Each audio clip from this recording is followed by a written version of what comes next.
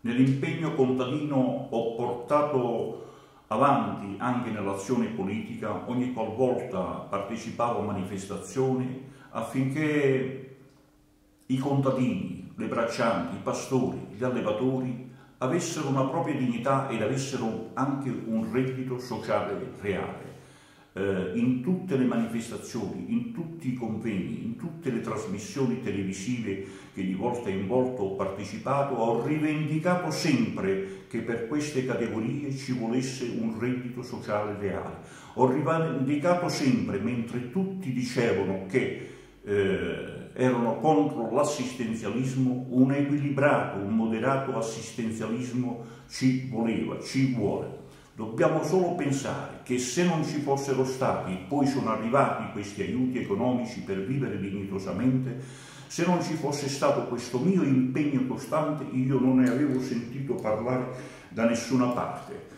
Addirittura ho delle dichiarazioni dei presidenti delle organizzazioni nazionali di categorie agricole che dicevano che bisognava fare dei prestiti perché eravamo degli imprenditori e non aiuti assistenziali cosiddetti. Io invece ho sostenuto sempre che ci fosse questo aiuto. Quando questo aiuto è arrivato ha dimostrato che le categorie contadini, i pastori, gli allevatori, gli agricoltori hanno potuto continuare la propria attività, altrimenti in Italia oggi non avremmo più una mucca, non avremmo più una pecora, non avremmo più una capra. Sono stato da solo e non ho sentito mai, perché ripeto, la circoscrizione elettorale della Camera dei Deputati di quegli anni comprendeva tre province molto diffuse. Nell'ambiente giornalistico, non solo politico, credo che fossi stato molto conosciuto proprio per la partecipazione a queste elezioni. E poi me ne tornavo in campagna ogni volta a pascolare le mucche lungo la valle del fiume Tanago, sulla cima del Monte Ogna, al Monte Melara, sulla dorsale dell'Appennino campano-lucano, andando a pascolare con il Vangelo in mano, con uh, qualche libro, ancora con qualche libro, ancora con il Vangelo. Mi piace ricordare alcune parole, anche nel centenario della nascita di San Giovanni Paolo II, che aveva dedicato in un incontro proprio in campagna all'agricoltura. Così diceva San Giovanni Paolo II, l'agricoltura che è indispensabile risorsa della vita umana non solo non deve essere abbandonata, ma deve essere potenziata.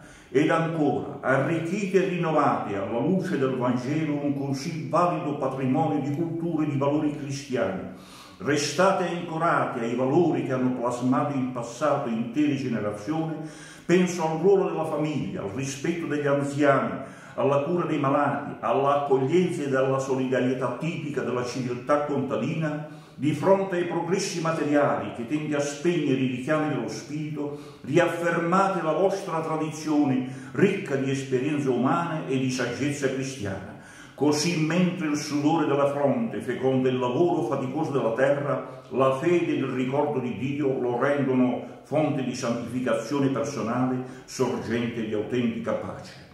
Ancora aggiungeva Carolo Voitiva, porto con me la vostra voglia di vivere e di vivere con dignità, la vostra decisa volontà di costruire una società nuova nella quale non ci sia più spazio per le ingiustizie, per le sopraffazioni e per le speculazioni di ogni tipo. Ecco, con il Vangelo in mano, con le parole sacre di San Giovanni Paolo II, così siamo andati al passo. Le contrarie, Teglia, Pianelle, Pedicata, Stritto di San Gregorio Magno sotto la dorsale montuosa, le contrade Valle di Rai di Colliano, San Pittore, Pazzano, Collianello di Colliano, mi hanno visto per un cinquantennio in mezzo a loro come la contrada Castelluccio Cosentino di Sicignano degli Abulburne. In mezzo a voi non c'è bisogno di dire chi sono, voi lo sapete chi sono, e porta avanti delle idee sulla legalità, sull'agricoltura, che sono idee perché la terra non tradisce mai, ma ci vuole, sono idee che porta avanti per il bene del nostro popolo, della nostra gente